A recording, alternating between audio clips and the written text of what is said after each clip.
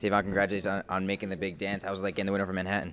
Um, you know, we um once again we owed them. You know, uh, we had to beat them because they beat us the last game, and um, you know, it wasn't it wasn't a better feeling, but playing them in a championship game and coming out with the win. Do you feel it benefited you playing two really tough teams, Canisius and Niagara, heading into this championship game?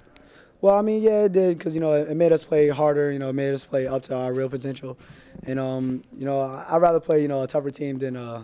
I mean, I think the whole the whole MAAC you know is full of tough teams, but you know, to play the two top teams that people you know think are the best teams, you know, it, it makes us you know play play up, and you know we um showed who was the real best team.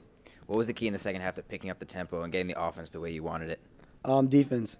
You know, um, in the beginning of the half, we weren't really. I mean, in the beginning of the game, we weren't really playing defense. So you know, they were playing at their pace, and it slowed us down, at which we don't play. So you know, second half when we came out, we uh, rattled them, got them to speed up a little bit more, and then we played to our uh, you know our um, strong side. What can you say about the fans that are coming out today and supporting you here in Springfield? Oh, this is the loudest I ever heard the fans. You know, since all year. You know, um, um, you know, I'm grateful that they came out to support us, and um, I don't think we'd be able to do it without them. First year, dan- first year with the program, and you're dancing. What's it feel like first year having this success? Oh, it feels great. You know, that's what we all came here for. You know, to get championships and you know, get rings and everything. You know, and, and do it all as one. You know, as a family.